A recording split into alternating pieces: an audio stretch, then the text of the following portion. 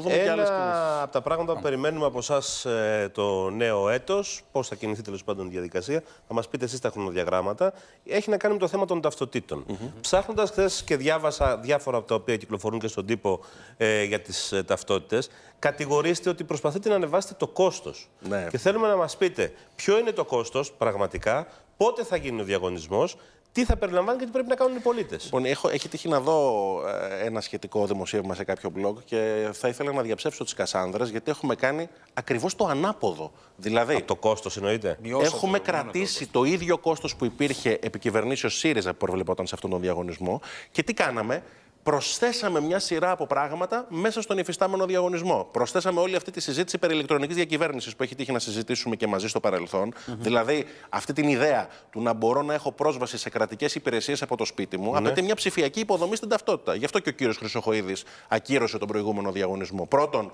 γιατί η φωτογραφία ήταν ασπρόμαυρη και όχι έγχρωμη. Θεωρήσαμε ότι έπρεπε να πάμε σε καλύτερες λύσεις, ναι. όπως είναι η εστονική ταυτότητα, όπως είναι η γερμανική ταυτότητα, έγχρωμες υψηλής ασφάλειας. Και δεύτερον, προσθέσαμε μια ψηφιακή υποδομή. Αυτό όλο έγινε με ακριβώς το ίδιο κόστος. Δεν, ούτε ένα δεν ανεβαίνει το κόστος. Όχι. Ούτε για το δημόσιο, ούτε για τον πολίτη. Όχι. Ακριβώς το ίδιο κόστος. Πότε θα γίνει ο διαγωνισμός; Έχει ξεκινήσει ο διαγωνισμός. Μάλιστα. Ο διαγωνισμός απλώς δεν δημοσιοποιείται. Δημοσιοποιήθηκε από την ελληνική αστυνομία ότι ξεκίνησε.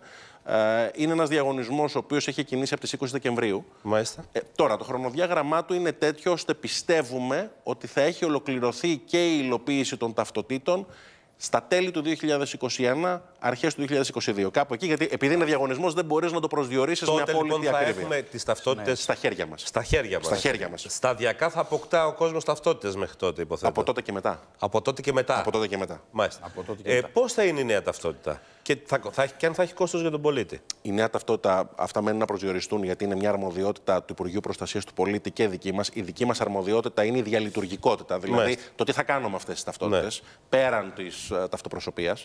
Ε, και σκοπεύουμε να προσθέσουμε μια σειρά από υπηρεσίες υψηλής ασφάλειας. Δηλαδή, θα μπορείς ήδη να κάνεις πράγματα από το σπίτι σου τους επόμενους μήνες, που δεν κάνεις ήδη. Έχω ήδη αναφέρει την εξουσιοδότηση, την υπεύθυνη δήλωση.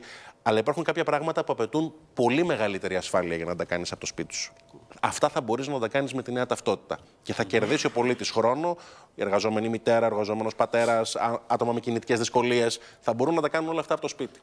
Τώρα, η ταυτότητα είναι κάτι το οποίο βλέπουμε είναι καλή ευρωπαϊκή πρακτική. Να μπορείς να τη Ναι. χρησιμοποιήσει αποκεντρώμενα, να είναι και κάρτα του πολίτη.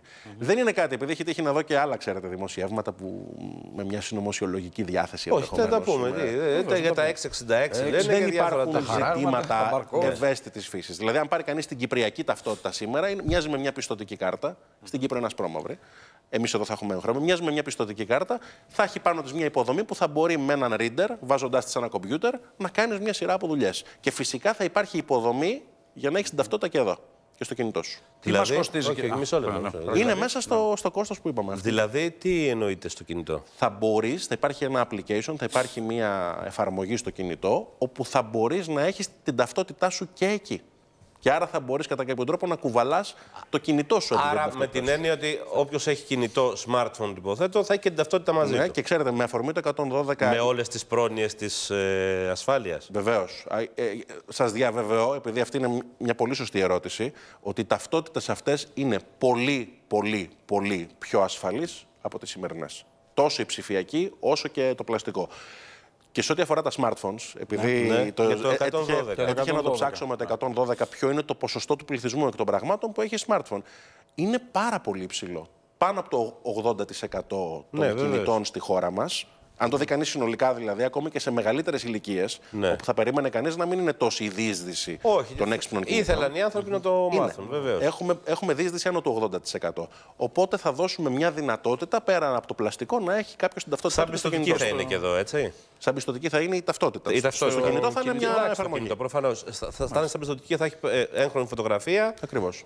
Ένα τσιπάκι, υποθέτω, σαν και αυτό της πιστοτικής κάρτας. Ναι, θα μοιάζει πάρα πολύ με την πιστοτική κάρτα σε μια φωτογραφία. Για να μπορεί να διαβάζεται από υπολογιστές και οτιδήποτε Ναι. Και θα έχει- οποιοδήποτε άλλους reader. Και θέλω να προσθέσω σε αυτό ότι θα έχει πάνω της και έναν αριθμό, ο οποίος αριθμός είναι αυτό που έχουμε πει, ο ενιαίος αριθμός πλέον που θα Να χρησιμοποιούμε. έρθουμε σε αυτό Αφημί και λίγο. άμκα. Αφημί και, άμ- και άμκα, την αντικατάσταση. Θα είναι αφημί και άμκα και θα είναι και κάτι άλλο.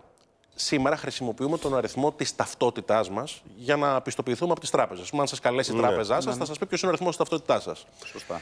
Αυτό όμως είναι πρόβλημα. Γιατί, γιατί αν τη χάσεις, αλλάζει. Και άρα πρέπει πάλι να πας στην τράπεζα και να τους δώσεις τον νέο αριθμό της ταυτότητας. Πράγμα το οποίο ταλαιπωρεί τους πολίτες.